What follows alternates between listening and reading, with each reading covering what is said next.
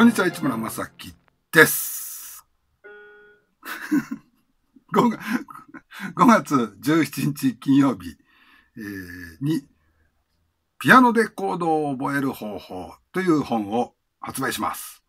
で、あの、ギタリストとか、ベーシストとか、アコギ奏者でも、ウクレレ奏者でも、他の楽器の方も、ピアノでコードを覚えた方がいいっていう、まあ、コードを覚えるってよりも、コードの意味合い、コード名の意味、C6 って書いてあったらなんやそれっていうことを鍵盤上でわかるようにしといた方が、結果的に弦楽器のプレイに役立つよっていう意味合いです。で、これの76ページ、CD だとトラック47。まあ、これちょっとしたほんの少しのお遊びなんですけど、単に遊ぶだけの話。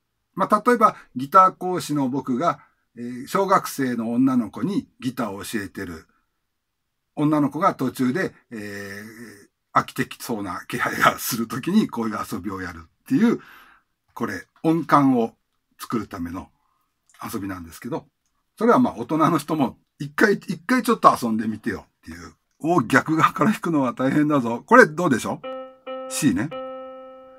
ここから数えた一個飛びのこっち。これ、ミなわけよ。ドレミのミ。で、ミの音が一個半音下がると、これマイナーって言います。で、1、2、3、4、5、6番目。これ6番目。まあ、ド、レ、ミ、ファ、ソ、ラの、ラの音。これ実は平行調の a マイナーのラだったりするんだけど、それ置いといて、置いといて。これ6番目。で、その次の隣は、これメジャーセブンと言います。こっちから数えてきて7番目だから7なのかな ?C7 なのかな？と思いきや、実はこいつはメジャーセブン。明るいサウンドなので大文字の M って書いて7って書く。メジャーセブン。銅から数えた場合の？マイナーの音と？3番目の音。3番目だからミ。ちょうどいいよね。3つ目だからミ。ちょうどいいよね。で、6番目の音と、で、メジャーセブン。これを、ま、み、む、め。まみむめもの、もうがないやつ。まみむめだと思ってください。すると、この音こうやって、これ、一応そのキーの音だと考えといて、こいつをちょっとだけ体の中に入れといて、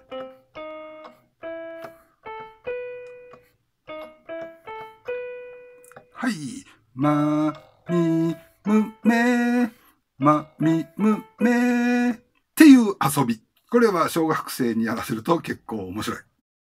その小学生はいずれ音感が身についていったり、いずれどこかで C6 っていうコードや C メジャー7っていうコードや C マイナーって何っていうところにたどり着いたときに、はまみむめの無が C6 だ。タンタン、タンタタン、タンタン、タタン、あ、これだっていうのを感覚として備わっていく子供に育っていくという期待を込めながらギターで弾いてみます。これどうね？どの音ね？マイナーの音。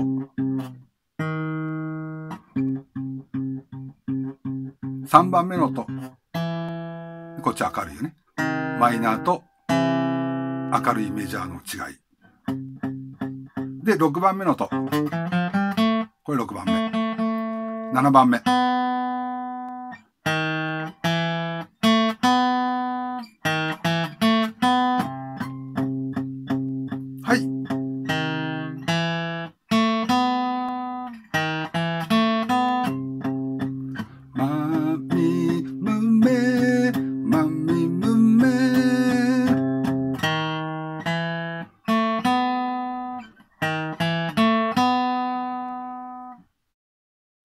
口出した方がいいですからね。ちょっとぐらい音痴であろうとも、あのー僕はそんなに歌は上手い方じゃないけど、聞き取る耳はありますんで、まみむめ、まみむめっていうのを、ま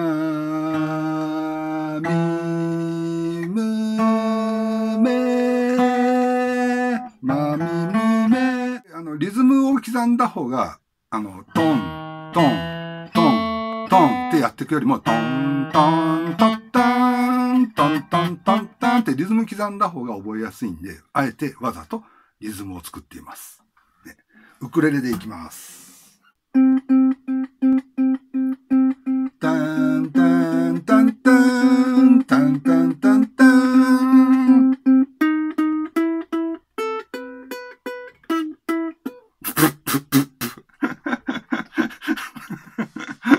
これドですよね。三弦開放がド。マイナーの音ってのはこの音。3フレットの音。メジャーは2弦開放の音。で、1弦開放の音が6番目。これ6番目なんだよ。これ C6 っていうコード。銅から数えた6番目はこの音。だからこれが C6。はい。で、7番目はこれね。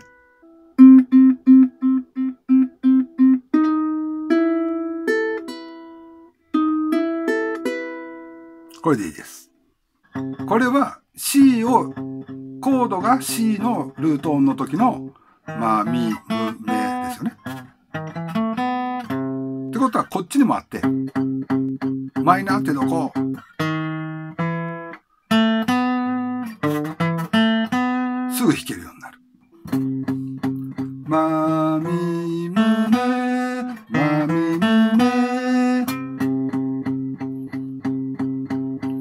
こういうことをやっていくうちに、いつか、いずれは、いずれは、これが、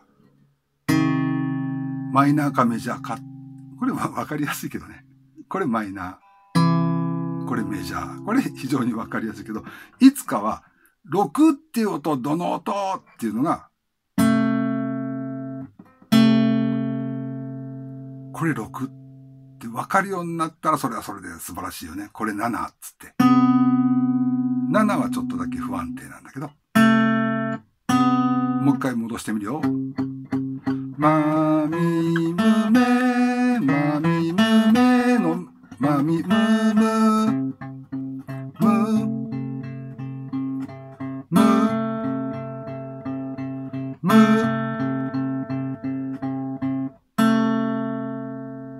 これちなみに C6 っていうコードを押さえると、この制覇した時の、バレーした時の薬指1弦まで押さえちゃって、こうやってやると、これ C6。むー。っていうコードになるんだけど、これは何でしょう？ビートルズで言うと何でしょう？ヘルプのエンディングです。これは、なんだっけ、お宝探偵団。だっけ？の最後のヘルプ、ヘルプ、ヘルプ、ムーのムーって音がこれ。